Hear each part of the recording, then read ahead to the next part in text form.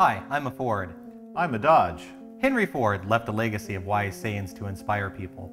For example, he once said failure is the opportunity to begin again, this time more intelligently. Horace Dodge once said, Birds of a feather flock together.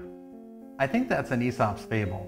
I remember he said it once. Somehow I don't find that very inspiring. At least mine rhymes. Your shoes untied.